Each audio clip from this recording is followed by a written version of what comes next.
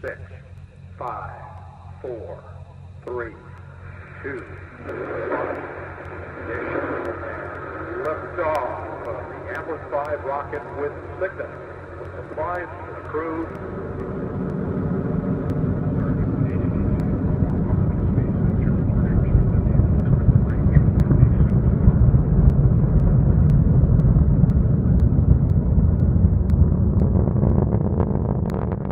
Embarcada no foguete que saiu do Cabo Canaveral, nos Estados Unidos, no dia 22 de março, a tecnologia brasileira de plástico verde da Braskem está sendo usada na Estação Espacial Internacional da NASA.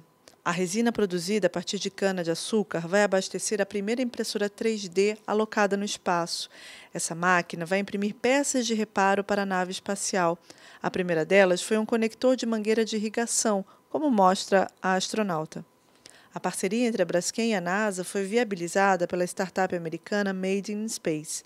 Ela produz impressoras 3D para operação em gravidade zero e é fornecedora da NASA. A resina verde feita no Brasil foi escolhida pela NASA porque atendeu a uma série de exigências com relação à resistência química, mas principalmente porque é fabricada a partir de fonte reciclável, que é a cana-de-açúcar.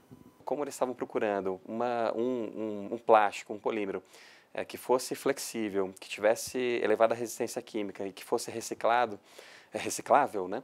A maior parte dos, dos polímeros utiliza como fonte de matéria-prima o petróleo, é, que está aqui na Terra e não necessariamente está em outros planetas. E a missão espacial, é, esses programas espaciais visam a colonização de outros planetas, visam viabilizar a, a vida é, humana em outros planetas. Então, a ideia é que as, as peças possam ser produzidas é, nesses planetas com matéria-prima local, é, ou com matéria-prima que possa ser produzida localmente. A expansão da fronteira agrícola é, no, no, espaço é um dos assuntos que a NASA vem é, pesquisando com muita intensidade. Né? E se eventualmente puder viabilizar a produção de cana-de-açúcar em algum outro planeta ou qualquer lugar fora da Terra, essa cana-de-açúcar, então, ela pode gerar o etanol, que é a matéria-prima para se produzir, então, localmente, fora da Terra, é, é, o polietileno verde, que virá a ser utilizado através da impressão 3D é, para produzir peças como, como essa chave que eu, que eu mostrei. Né?